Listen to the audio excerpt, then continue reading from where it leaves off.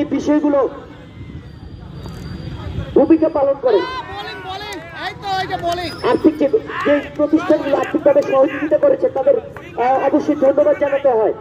Royal medicine mart Pabna sweets বিমান বাড়ি black circle Rolex biryani install ICT JK electric